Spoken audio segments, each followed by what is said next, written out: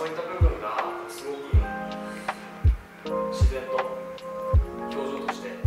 えー、見れるような素晴らしい加工っていうになっていますそれで、えーと、形の方が、まあ、定番で作られているストレートの形とで今回新しくワイドテーパーという形も入ったので今日僕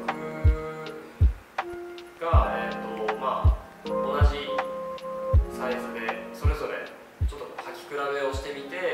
まあ、どういうこう印象の違いだった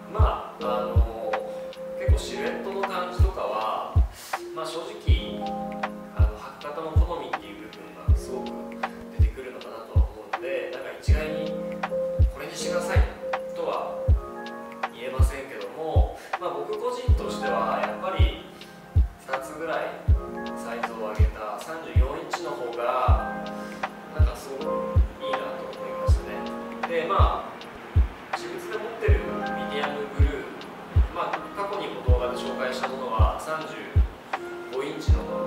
ハイトはいるんですけども、まあ、今回ダメージ